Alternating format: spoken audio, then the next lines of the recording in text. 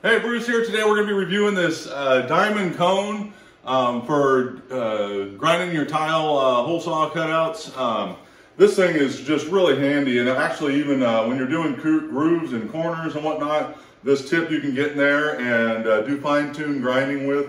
Um, really handy. I was excited to get it. Um, I've lost my other one um, and I've been, I started doing the bathroom here and I uh, don't know where it's at. So I got this new one. These here for if you're a tile setter and you do this all the time, and if you don't have one already, you probably do, but if you don't have one, that's why you're looking at this listing.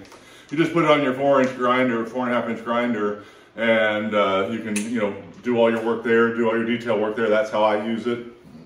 Um, it does come with an adapter you can throw in a regular drill and then put it on there and then you can use it like that. So that's the adapter there that it comes with there, hex head. So uh, if you had to use it on a drill, you could do that easy enough. Um, anyway, that's about it. Um, I think this was close to two inches in diameter.